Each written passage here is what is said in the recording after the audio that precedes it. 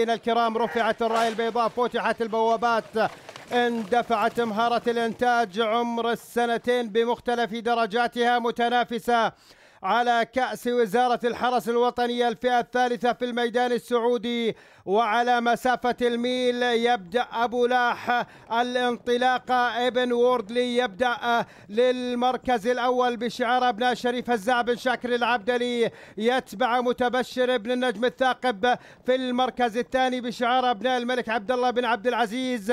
فيما يأتي رعاج بشعار نزار أبو الجدايل في المركز الرابع الآن مع تقدم للموت الحمر لأبناء فالح بن عايد أبو اثنين للمركز الثالث وتقدم أيضا لسابق ومسبوق في المركز الرابع الآن مع تقدم ومحاولات من مؤهل من المسار الخارجي فيما المقدمة لا زالت مع ابن ووردلي أبو لاح بقوة بتمكن يتمكن إلى الآن من قيادة هذا الشوط بعد تجاوز علامة الستمائة متر الأخيرة. أبو لاح متبشر متبشر يتحفز للانطلاقة وأيضا المحاولات تأتي من سابق ومسبوق للمركز الثاني فيما أبو لاح لا زال مسيطرا على نتيجة هذا الشوط مع قدوم ثنائي الأبيض متبشر ومؤهل. أبو لاح لا زال مسيطرا مسيطرا أبو لاح أبو لاح مسيطرا. ولاح الفوز يا أبو لاح لاح الفوز يا أبو لاح مسيطرا بقوة.